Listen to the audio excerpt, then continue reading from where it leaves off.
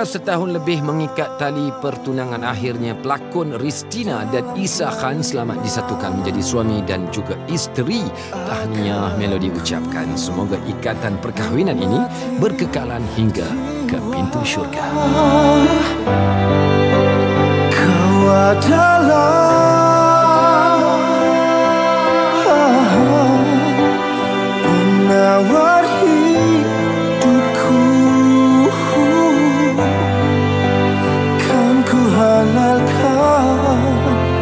pertama sekali Melody nak mengucapkan tahniah buat pengantin baru Isa dan juga Noristina. Jadi pastinya lega kan selepas ditunda patutnya majlis perkahwinan pada tahun lepas dan akhirnya hari ini dah selesai. Selamat disatukan dengan sekali Lafa. Jadi Ristina dululah apa yang boleh dikongsikan. Ya Allah lega Alhamdulillah saya dah bergelar isteri kepada Isa Han. Saya rasa bersyukur, rasa happy, rasa hidup saya berubah sekelip mata. Saya dah menjadi isteri orang. Mungkin saya ada buat sesuatu yang baik dalam hidup saya sebab saya mendapat seorang lelaki yang istimewa. Awak seorang lelaki istimewa. Thank you so much for everything.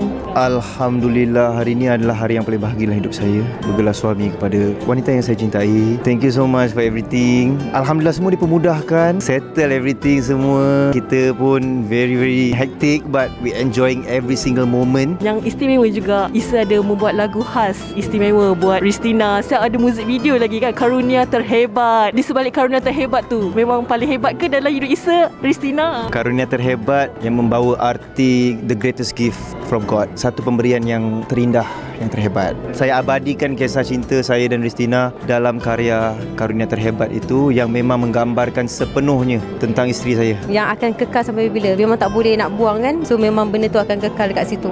Kisah cinta kita sampai bila insyaAllah amin. Cinta sebelum ni orang ramai orang melihatkan kemesraan kalian dan ramai itu mendoakan sebagai selepas kahwin pun mesra seterusnya. Apa yang Ristina boleh katakan? Itulah sebab orang kata mesra tu sebelum kahwin je, lepas kahwin tak mesra. Tapi bagi saya kalau kita dah ada perasaan tu memang orang tu akan macam tu lah. Kenapa kita nak kena ubah benda tu? Kalau kita sayang orang tu kenapa kita nak kena kurangkan? Teruskan sayang orang tu. Kita perlu berubah untuk menjadi lebih baik dan lebih baik. Saya yakin Isa memang seorang yang macam tu. Dia bukan dibuat-buat ataupun apa tapi sebab dia memang betul-betul seorang yang baik penyayang. Seorang yang romantik. Loving lah. Thank you so much for everything. Kerjaya seni kalian. Macam mana dengan Ristina dan juga Isa kan? Adakah Ristina memperlahankan kerjaya seni sebelum ini? Ataupun bagaimana? Mungkin ramai nak tahu ada sebelum ni lately kan? Kurang nampak di kaca TV boleh kongsikan ramai nak tahu tentang kejaya seni Restina dan juga Isa lah selepas ini. Oh sebenarnya saya syuting je. Cuma mungkin orang tak perasan saya mungkin cerita tu belum keluar. Ya masa nak kahwin ni memang saya perlahankan sikit sebab terlalu sibuk dengan bisnes terlalu sibuk dengan preparation apa semua.